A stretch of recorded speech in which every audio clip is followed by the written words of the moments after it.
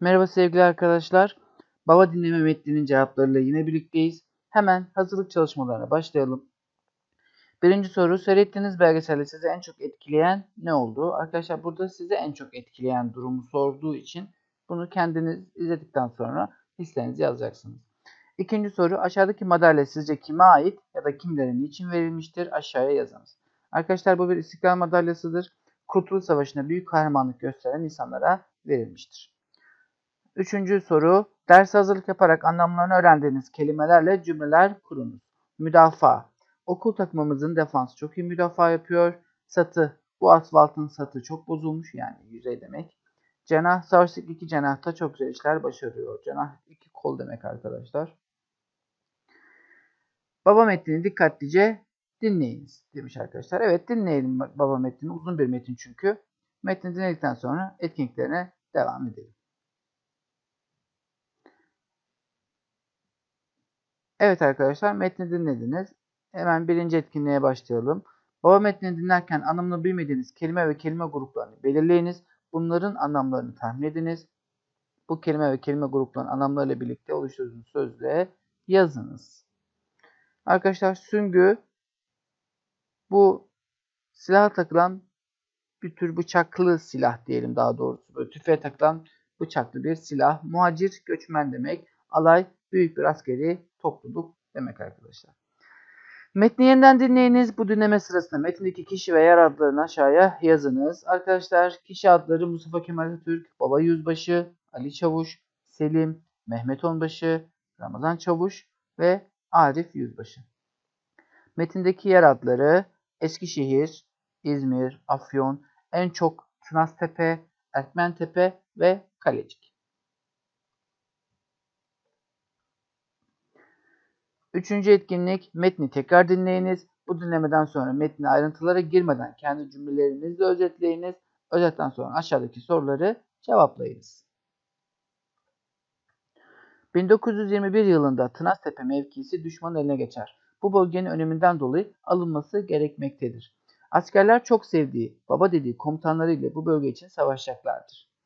Oğulları olarak gördüğü askerlerini yalnız bırakmayan baba komutan savaşla düşman tarafına geçebilecekken askerlerin ona seslenmelerini duyar ve geri döner ve kahramanca savaşarak şehit olurlar.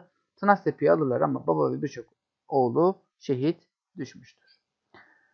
Metin özetini çıkarırken zorlandınız mı? Neden? Evet, biraz uzun bir dinleme metni olduğu için ayrıntıları hatırlamakta zorlandım diyebilirsiniz arkadaşlar. Bu etkinliği daha iyi yapabilir miydiniz? Nasıl? Birkaç defa dinleyip dinlerken not alarak daha kolay hatırlayabilirdim. Buna benzer bir şey yazabilirsiniz arkadaşlar.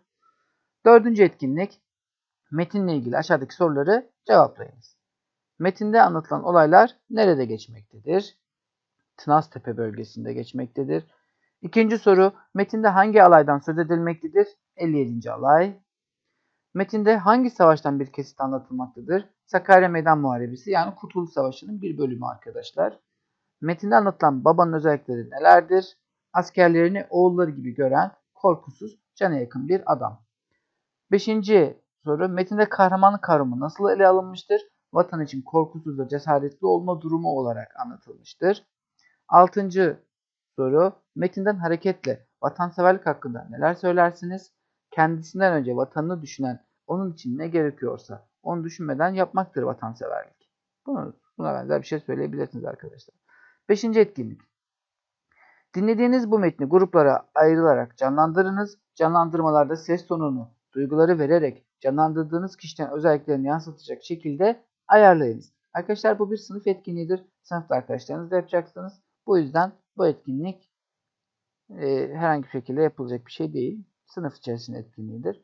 Altıncı etkinlik dinlediğiniz metin için farklı bir başlık öneriniz var mı? Bu başlığı aşağıya yazınız.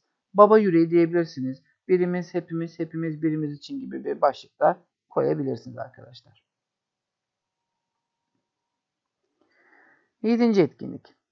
Kendinizi hakkında araştırma yaptığınız milli mücadele kahramanlarından birinin yerine koyunuz. Bu kahraman hayat hikayesini, milli mücadelede yaptığı yararlılıkları ve kahramanlıkları onun ağzından anlatınız. Bunun için konuşmanızı bölümlere ayırınız. Bu bölümlerde bahsedeceğiniz önemli bilgilerin anahtar kelimelerini liste halinde bir kağıda yazınız Listedeki kelimeleri hafızanıza tutarak ve hayal gücünüzü kullanarak konuşmanızı yapınız. Konuşmanızda beden dilinizi etkili kullanmaya dikkat ediniz. Sesinizi kendinizi yerine koyduğunuz kahramana göre yaşlı, genç, kadın, erkek ayarlayınız. Arkadaşlar ben Şerife Bacı'yı e, yaptım.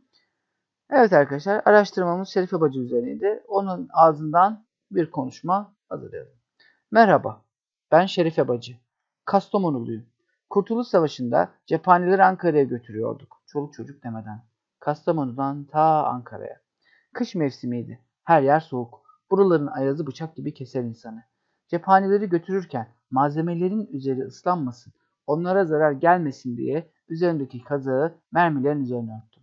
Yol uzadıkça uzadı. Soğuk arttıkça arttı. İlerlemek zorlaştı. Bebeğim morarmaya başladı. Üzerine kendimi siper ettim. Düşündüm ki benim vücudumun ısısı onu korur. Zaman geçmiş. Cephaneler sağlam kalmış ama ben donarak şehit olmuşum. Olsun. Benim canımın ne önemi olabilir? Yeter ki vatan kurtulsun. Yeter ki hem benim bebeğim hem de başka Türklerin çocukları bağımsız ve hür düşman üniforması görmeden vatanımızda yaşayabilsinler. Beni dinlediğiniz için teşekkür ederim. Evet arkadaşlar gerçek bir karakter, gerçek bir kahraman çok üzücü. İnsan bu karakterleri, bu kahramanları okudukça, izledikçe, dinledikçe e, hem kendisinde bir e, acı hissediyor hem de o dönemin insanların yaptıklarını düşündükçe bizim de neler yapabileceğimiz, neler yapmamız gerektiği, sorumluluklarımız üzerine arkadaşlar düşünmemiz böyle gerekiyor yani. Bu insanların haklarını ödememiz gerekiyor. Yedinci etkinlik. Bunu az önce yaptık. Şerif Abacı'ydı arkadaşlar. Sekizinci etkinlik. Yukarıdaki sözden hareketle milli mücadele ve kahramanlıkla ilgili bilgilendirici bir metin oluşturunuz. Metninizi aşağıdaki yazı taslağını oluşturduktan sonra dijital ortamda yazınız. Yazınızın ilk paragrafında amacınızı ifade ediniz. Yazınıza başlık koymayı unutmayınız. Metninizde günümüzden örneklere de yer veriniz. Yazınıza deyimler, atasözleri ve özdeşler kullanınız. Metni oluştururken yabancı dillerden alınmış, dilimize henüz yerleşmemiş kelimelerin Türkçelerini kullanmaya özen gösteriniz. Evet arkadaşlar, bizden isteneni okuduk. Şimdi cümleyi okuyalım. Maria Mones'in bir cümlesi. Kahramanı olmayan bir milletin geleceği de olamaz. Arkadaşlar kahraman önce cümleyi düşünelim bir daha. Kahramanı olmayan bir milletin geleceği de olmaz. Önce kahraman nedir ve millet nedir? Kahraman arkadaşlar nedir? Kendisini düşünmeyen o, o an ne yapılması gerekiyorsa onu yapan kişidir. İle süper güçler olmasına gerek yok kahraman dediğimiz insanların. Kahraman içinde bulunduğu durumda en doğru şeyi yapabilen insanlar kahramandır arkadaşlar. Kritik kararlar alabilen, bunları uygulayabilen insanlardır. Kahraman olmayan bir millet olur mu arkadaşlar? Olmaz. Olmazsa mesela Amerika Birleşik Devletleri'nde kahramanlığı yoktur. Ne yapar? Onlar kendi içerisinde kahraman yaratmak zorundadır. Ne yapar? Batman der mesela. Superman der. Bu insanları ne yapar? Bizim de böyle kahramanlarımız var der. Amerika kıtasını koruyor der. Şu şehri koruyor der. İnsanlar içerisinde bir gururlanma verir. Örneğin Batman Gotham şehrinde yaşıyor. Yani filmde. Gothamlılar bizim Batman'imiz var. Koruyor bizi diyerekten bundan övünç duyuyor. Ama böyle bir karakter yok. Düşünün olmayan bir şey hakkında insanlara kahramanlık şeyi veriyorlar, mesajı veriyorlar. Bizim öyle mi? Hayır. Battal Gazi'miz var. Şerife Bacı az önce araştırdık. Var. Seyit Onbaşı var. Hepsi yaşamış karakterler bunlar arkadaşlar. Ve onlar bizi birleştiriyor. Onlar bizim içimizdeki yani o kritik zamanlarda neler yapabileceğimizin bizim şu basit halimizde neler yapabileceğimizin bir göstergesidir. Ve bu karakterler gerçekten yaşamış. Batman gibi, Superman gibi sanal değil yani. Bunu tekrar düşünmenizi istiyorum. Yani bu çok önemli bir konu. Evet arkadaşlar yazı çalışmalarını yapalım. Yukarıda bizden istediği bilgiler ışığında konu cesaret. Çünkü milli mücadeleden bahsedeceğiz. Kahramanlık ve cesaret olmalı. Ana fikir vatan için kendi canını düşünmeden feda eden insanlar sayesinde vatan vatan olur. Arkadaşlar bu ana fikir üzerinde çalışacağız. Giriş bölümünde ne yazacağız arkadaşlar? Giriş konuya giriş yapacağız arkadaşlar. O yüzden kahramanın hikayelerinin nasıl başlayacağından başlayalım. Yani karakterler hakkında bilgi verelim. Nerede oluyor bu olaylar? Hangi zamanda oluyor? Yani onu kastediyoruz burada. Ve Kurtuluş Savaşı hakkında kısa bir bilgi verelim ki giriş yaptığımız an insanlar hangi karakterler, nerede, ne zaman neler yapıldığını ilk anda anlamalı.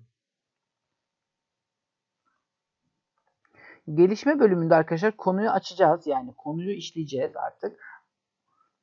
Kurtul burada gelişme bölümünde yazacaklarım Kurtuluş Savaşı zamanlarında insanların durumlarından bahsedeceğiz. Bu insanlar hangi durumlar, hangi şartlar altında bu, bu, yaşıyorlardı? Kurtuluş Savaşı zamanlarında Türk milletinin kadın erkek, çoluk çocuk, yaşlı neden neler yaptıklarından bahsedeceğim. Arkadaşlar bu da gelişme bölümündeki olaylarımızın hangi çerçevede anlatılacağı. Sonuç bölümünde ise savaş zamanında insanların yaptıklarına minnet duyup yani onları özlem duyup onları anıp sürekli hatırlayarak bizim neler yapmamız gerektiğiyle ilgili bir mesaj vererek konuyu burada sonlandıracağım. Sonra da arkadaşlar bunu sosyal medyada paylaşacakmışız etkinliğin devamında. Evet arkadaşlar örnek olması açısından ben şöyle bir metin hazırladım size. Okuyalım. İnsanlar kendi özelliklerinin ve yapabileceklerinin bazen çok geç fark ederler. Zor zamanlar, kötü ve kara dönemler insanları farklı yönde yetiştirir. Kurtuluş Savaşı'nda da böyle oldu. İnsanlar kadın, erkek, çocuk, yaşlı demeden vatan için ellerinden geleni yaptılar. Ellerinde hiçbir şey yokken hem de. Cephede sadece asker mi gerekli? Peki o askerlerin savaşacağı cephaneler, yiyeceği yemekler, giyeceği üniformalar, yarısını saracak hemşire, doktor ve sağlık malzemeleri. Hadi bu malzemeler bulundu. Bunları cepheye kim taşıyacak? Hele de Kurtuluş Savaşı zamanlarında. Araba yok. Olsa da halkta yok. Hastalık çok. Yiyecek maddeleri zaten azalmış. Çoğunu düşman yakmış yıkmış. Zarar vermiş. İşte böyle bir zamanda kadınlarımız, çocuklarımız bambaşka insanlar oldu. Bu çocuk koca, her çocuk kocaman adamın gücünde cepheye bunları taşıdı. Kadınlarımız evlerinde askerlerimize erzak hazırladı, kıyafet dikti. Yetmedi. Yürüyerek onları cepheye getirdi. Elinde ne varsa hepsini verdi. Canı dahil. Bu yüzden iyi anlamalıyız o insanları, emeklerini. Bugün beğenmediğimiz yemeğe burun kıvırırken, arkadaşımız var diye, arkadaşımız var diye yeni bir mont ve ayakkabı alırken, dedelerimizin yaptıklarını düşünüp yapabileceklerimizin en iyisini yapmak için çaba harcarken bunları düşünmeliyiz. Bağımsızlığımızı bu zor şekilde bize kazandıran insanları iyi anlayıp ülkemizi güzel ve üretken bir hale getirmek için onlar üzerine düşeni fazlasıyla yaptığı sıra bizde. Evet arkadaşlar böyle bir yazı, bilgilendirici metin yazdık. Dokuzuncu etkinlik yazdığınız metni düzenleyiniz. Yazınızı düzenlerken öncelikle yazınızda anlam bütünlüğünü bozan ifadeler varsa düzeltiniz. Sonra yazınızı yazım ve noktalama kurallarına uygunluk bakımından kontrol ediniz. Bunları yaptıktan sonra yazınızı sosyal medyada paylaşınız. Yazınızın çıktısını alıp sınıf ya da okul panosuna asınız. Evet arkadaşlar bunları yazdığınız metni bu yönerge doğrultusunda yapıp paylaşırsınız. Etkinliklerimiz burada sona erdi. Kanalımıza abone olmayı unutmayın. Hoşçakalın.